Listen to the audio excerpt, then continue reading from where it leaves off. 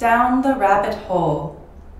Alice was beginning to get very tired of sitting by her sister on the bank and of having nothing to do. Once or twice she had peeped into the book her sister was reading, but it had no pictures or conversations in it. Down the rabbit hole.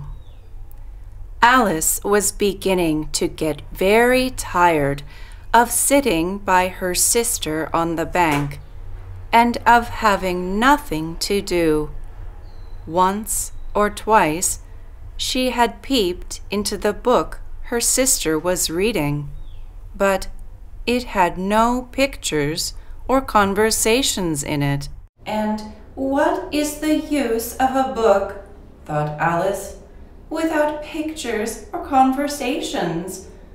So she was considering in her own mind, as well as she could, for the hot day made her feel very sleepy and stupid, whether the pleasure of making a daisy chain would be worth the trouble of getting up and picking the daisies. And what is the use of a book, thought Alice, without pictures or conversations?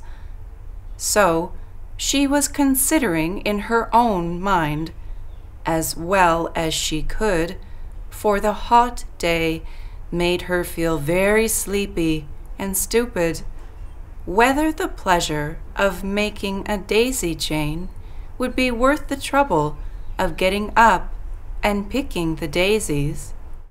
Oh dear, oh dear, I shall be late. When she thought it over afterwards, it occurred to her that she ought to have wondered at this, but at the time it all seemed quite natural.